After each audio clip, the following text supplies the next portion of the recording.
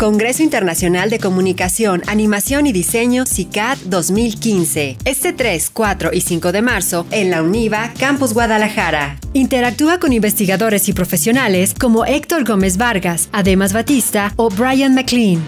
CICAD 2015. Crear en libertad.